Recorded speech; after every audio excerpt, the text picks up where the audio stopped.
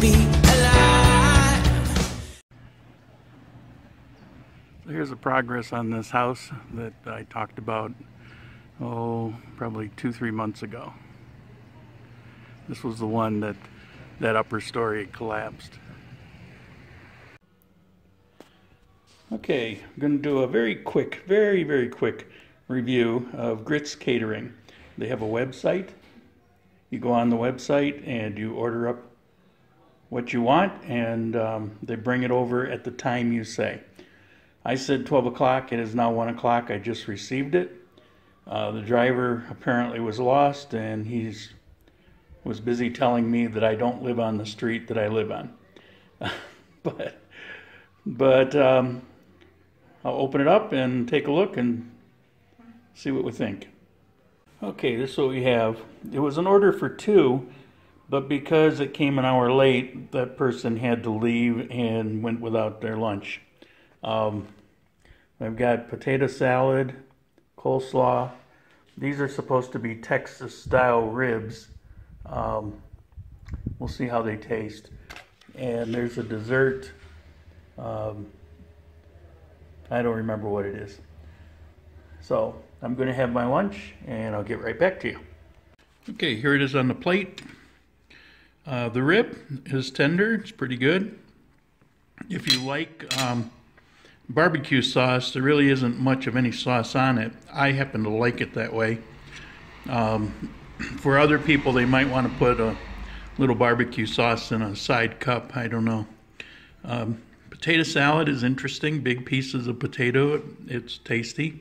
Coleslaw is quite good. No complaint about the food whatsoever. The downside, oh, uh, this was ten dollars. It looks like most items are six fifty to seven fifty, and uh, portion is is quite big. Uh, the downside is they say that they will bring it when you ask for it, if as long as you're like an hour before the order. And I ordered, I don't know, it was probably seven o'clock this morning for noon. And as I said, it was an hour late and created a bit of a complication. Um, other thing I'll mention is I ordered two of these. The bill came through as $20 charged to my credit card.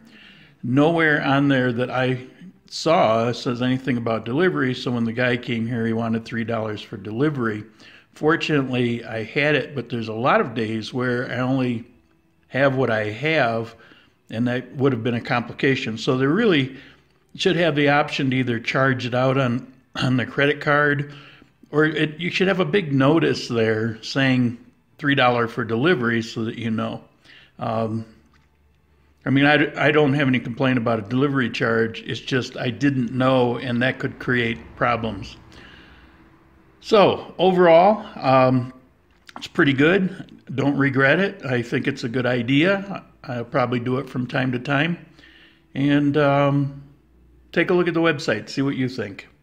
Appreciate any comments on this if you've tried it before, or if you try it after you watch this. Uh, let me know what you think. Predator drones. You think I'm joking? I have two words for you. You will never see it coming.